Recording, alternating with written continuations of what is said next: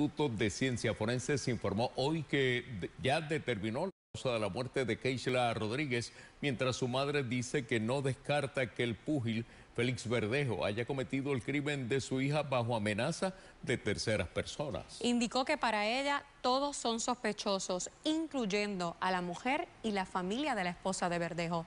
José Esteves amplía.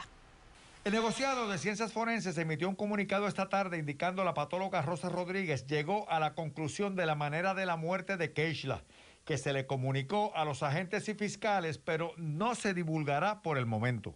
Ajena todavía a ese resultado forense y acompañada por los perritos de su hija, Keila Ortiz dijo hoy que no descarta las versiones que alegan Verdejo pudo haber actuado bajo amenazas de terceras personas. Entre esas terceras personas se habla insistentemente de la familia o allegados a la esposa de Verdejo. No creo en ninguno, pero pues aquí va a pagar por el que tenga que pagar.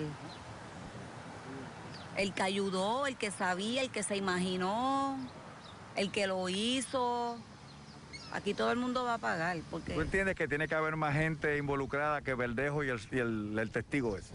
Sí, tienen que haber porque uno, para guiar la guagua tiene que ser una persona. Y por lo menos atrás, para ir forcejeando con ella, tuvieron que haber, haber habido como dos o tres personas.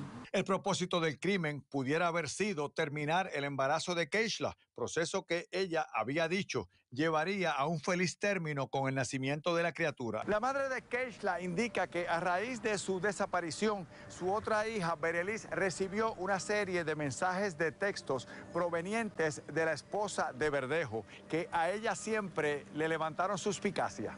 Ella le enviaba mensajes a Berelis, apareció, ¿dónde está? Pienso yo como si estuviera ella nerviosa. Está preocupada ya. Nerviosa, preocupada, porque ¿para qué tú tienes que estar enviando mensajes? Mm. Eso te levantó, te levantó suspicacia. Muchas más, muchas más. Son mensajes tan custodiados, como uno dice. Rechazando la opinión generalizada de que en esta situación ambas familias han perdido, la madre de Keishla envió un mensaje a la de Verdejo. A ella le quiero decir que lo que tuvo por hijo es un asesino. Que él mató al nieto de ella y mío. Y que voy a hacer justicia hasta el último suspiro de mi vida. Para Telenoticias les informó José Esteves.